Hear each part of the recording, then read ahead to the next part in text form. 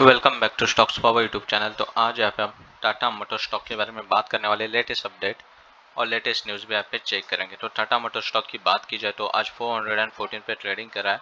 Tata motor stock, यानी कि reverse reversal यानी बाउंस बैक होता हुआ नज़र आ रहा है टाटा मोटर स्टॉक।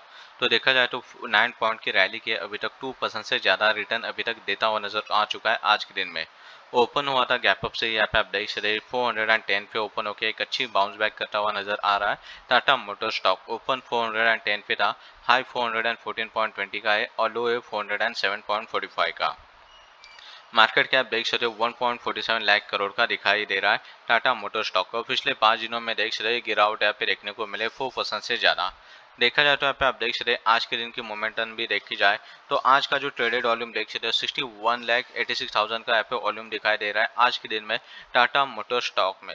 तो सिक्योरिटी वाली डिलीवरी पोजीशन भी देखी जाए तो करंटली 31 परसेंटेज जो ट्रेडेड वॉल्यूम है, उसमें से देख सकते कि 31 परसेंटेज यहाँ पे जो क्वांटिटी है, वो डिलीवरी के लिए चली गई है। यानी कि देखा जाए तो बाइंग के लिए 11 लाख थाउज़ेंड क्वान्टिटी और सेलिंग के लिए 12 लाख क्वांटिटी यहाँ पे दिखाई दे रहे मीन्स सेलिंग प्रेशर यहाँ पे दिखाता हुआ नज़र आ रहा है टाटा मोटर स्टॉक में आज भी। तो टाटा मोटर्स के चार्ट एनालिसिस पे भी नज़र डाली जाए तो हमने जहाँ पे आप देख सकते मार्किंग की थी 400 लेवल तो कल वही पे इससे यहाँ पे सपोर्ट लेके एक अच्छा बाउंस बैक हो चुका है टाटा मोटर स्टॉक यानी कि बाइंग के लिए अपॉर्चुनिटी बनी थी। पर 420 तक जाने के चांसेस दिखाई देंगे।